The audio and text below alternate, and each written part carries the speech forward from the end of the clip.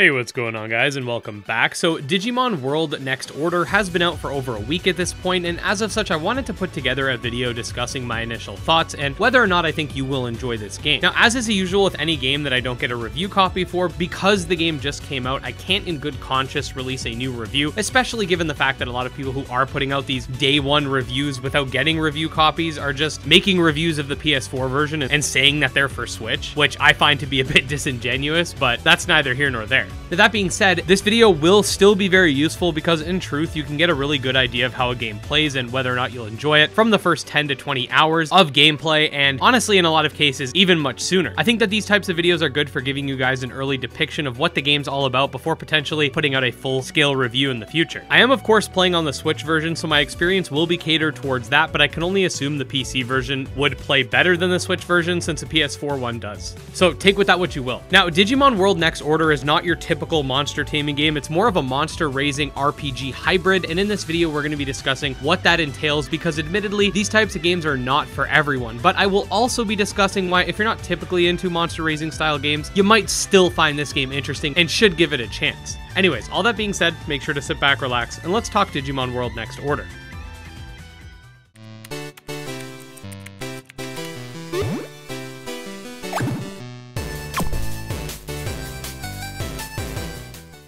Okay, so as per the usual with any type of video like this, we are going to be mostly discussing the gameplay and a little bit about the Digimon roster. If and when we do make a full-scale review, we would generally break it up into the game story, the way the game plays, then the roster, but I think this will be kind of like a light version of that. So as for the premise of the game, essentially what happens is just like in Digimon World 1, which this title is a spiritual successor to, you decide to play with your Digimon V-Pet and then are whisked away into the digital world. There's an opening sequence slash tutorial that goes over how battling works, and then after you defeat the Machinedramon, you're brought forth to Jijimon's house in the digital world, just like the original game. This is where the game really begins, and we can sort of dive into how the mechanics work, which ultimately will decide whether or not you deem this game something that interests you. From this point on, the game's going to hit you with a ton of information, but I'm going to gloss over a lot of it and just get into the most important stuff from a should I buy this game standpoint. Firstly, you'll be tasked with two starter Digimon, which will only be shown to you in the form of eggs. These eggs will start in baby form, then evolve into in training, and from there it's completely up in the air which Digivolutions you'll be getting first, because there is an intrinsic evolution system that branches off, and while you can control this to an extent later on, right at the beginning you kind of don't know what happens, so it's sort of luck of the draw. There's 10 Digi Eggs which branch out to the larger roster of 200 Digimon from it. Unlike a lot of monster taming games we cover, this game doesn't actually feature monster catching, but instead, in order to fulfill your compendium, you're going to be raising these two Digimon from babies and experiencing new Digimon through rather than capture. Your Digimon will have lifespans, and depending on how you treat them, for example, if you die a lot in battle or if you make them really unhappy, their lifespans can be shortened, and eventually when they do die, they'll become Digi Eggs again, allowing you to start the process over. Now that being said, the game does still feature progression in the fact that every time your Digimon reincarnate, the baby forms will become more powerful than their predecessors, and you unlock various skills to power up yourself as a tamer, so losing your Digimon does not mean you're just starting the game from scratch. Furthermore, a lot of the early game will revolve around you training your Digimon in the training dojo or whatever it's supposed to be called in almost a Monster Rancher style where you pick what kind of training you want your Digimon to do. It extends for an hour of in-game time, then you see the results of that training. On top of that, there is an in-game timer that will pass as you play the game, which will determine in-game days, allowing for you to restock on certain items each day. It'll determine when your Digimon wants to go to the bathroom, when they sleep, etc. The majority of the game will revolve around this and the starting town where you can recruit and further expand. This is not a Digimon story title or a typical RPG where you just get monsters to fight and you adventure around and that's sort of it. This is more so like the old school Digimon V-Pet Tamagotchi-esque experience, but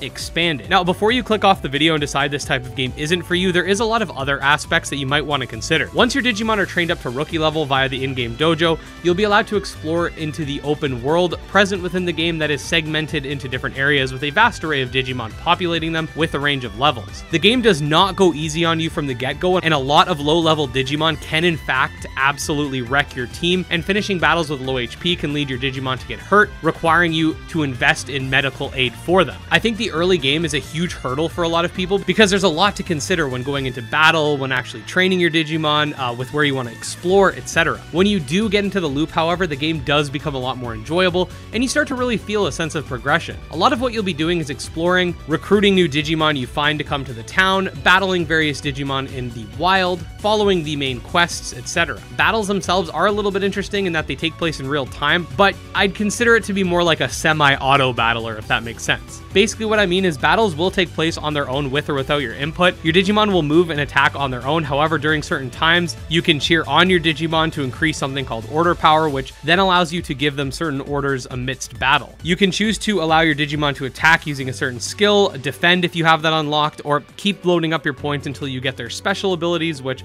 do massive damage. You're also able to throw items onto the field during battle, so unlike Pokemon where the potion would immediately activate before anything else, you do have to account for this because there is a bit of a delay there. Now, the game features a wide array of biomes, there's a ton of items and resources to collect around the world, and even boss battles like this Numemon here, but it's very hands-off in telling you what you need to do and kind of lets you do your own thing with Digimon in the town giving you your next main objective, but other than that, you can pretty much explore to your heart's content. I am of course oversimplifying a lot of this game's mechanics for the sake of the video, but if you want to learn more information, you can also check out my starter evolution guide, my skills guide, or my tips and tricks guide, which I put out recently. Now, when it comes to recruiting Digimon, you can actually recruit different Digimon whom act sort of like NPCs. Some of them will want you to fetch something for them, some of them will want you to battle them, but ultimately they'll end up going back to your town which will increase the town's ranking, making it better and just having more resources for you. Some will give you certain items and stuff like that. I honestly think that there is something in this game for fans of more streamlined RPGs to enjoy, and even myself, who's someone that doesn't really delve too deep into monster raising games, I found that this game, at least in my opinion, is a lot more enjoyable from the perspective of someone who appreciates a world to explore than something like Monster Rancher, which is entirely menu based. That's not to hate on Monster Rancher, I actually did enjoy it, but I do think that this game caters to me a little bit more because it's sort of like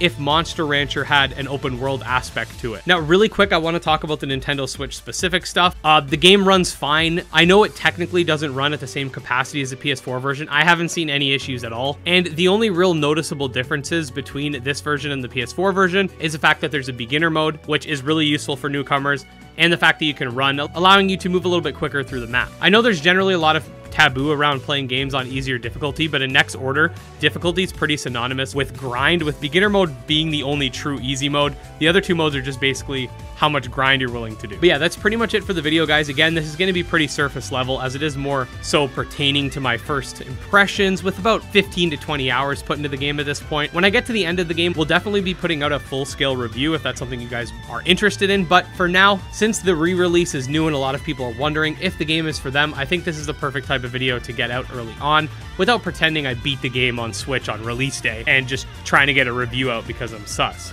But yeah, the one thing you're going to have to consider is the Switch and PC versions are $59.99. The PS4 version, as of the time this video is going live, is only $10 on sale, but once the sale's over, it'll also go up to 60. So I'd say if you are gonna pay 60 for either, you might as well get the new ports, since I think portability is a really nice thing to have, at least with the Switch version, but ultimately it'll be up to you. That being said, if you did enjoy the video, make sure to like and subscribe for daily Monster Taming content. You can check out my Twitter, Discord, and Patreon linked below. Special thanks to my patrons, especially Jim Hamilton, Dro Ghost, Dark Persona, Candy Morency, and Exodus, and we'll see you next time. Peace.